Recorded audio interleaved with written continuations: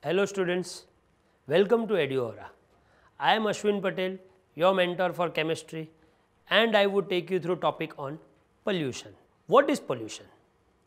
Well, pollution is an undesirable change in either physical, chemical or biological characteristic of air, water and soil which is harmful to life on earth. There are various human activities that causes huge amount of pollution to various organisms which are present on earth. For example, industrialization, burning of fossil fuel, heavy use of pesticide and fertilizers, dumping garbage and waste materials in water bodies without treatment causes huge pollution in water. Hence, pollution can be defined as contamination of natural environment that is harmful to the ecosystem. There are various direct or indirect ways in which pollution can be harmful to the environment and it can affect human life. The substances which causes pollution are called as pollutants. These pollutants may be either solid, liquid or gases and they are present in such a high concentration that it is injurious to the environment. Pollutants can be either man-made or can be natural. So students, let us understand what is air pollution. When we have various toxic substances or particulates or biological matters into the environment, this causes air pollution. These materials are harmful to the living organisms as well as non-living organisms. Students, let us understand the various types of water pollutants.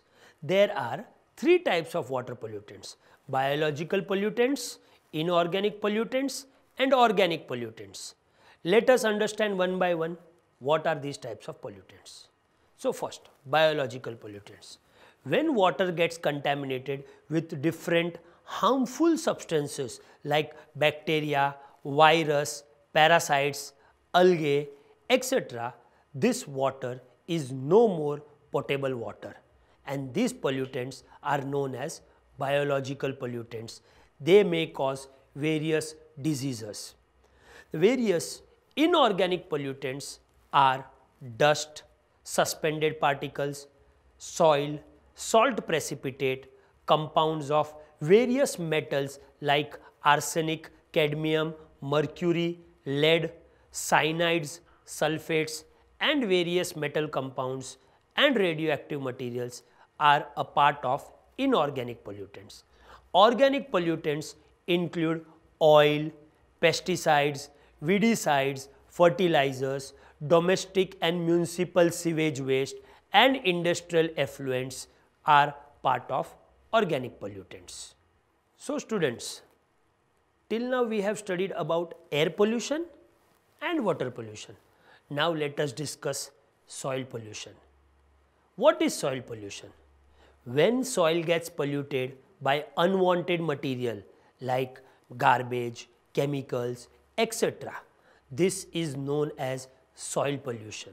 In soil pollution, the physical, biological and chemical changes occurs in the property of soil which results in poor quality of soil.